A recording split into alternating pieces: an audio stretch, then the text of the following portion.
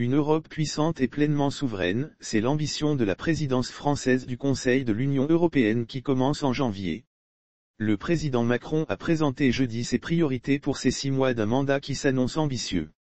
Emmanuel Macron appelle de ses vues un New Deal pour l'Afrique et annonce un sommet entre l'Union africaine et l'Union européenne à Bruxelles les entre 17 et 18 février prochains.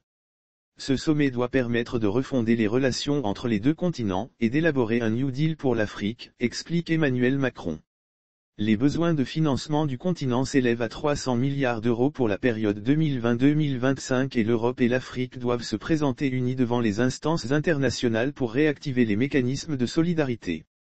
Emmanuel Macron parle des « offrir un avenir à la jeunesse africaine » et souhaite impliquer davantage ses partenaires de l'UE, éducation des jeunes filles, formation des enseignants, unité de production de vaccins, climat, énergie, les champs d'action sont nombreux.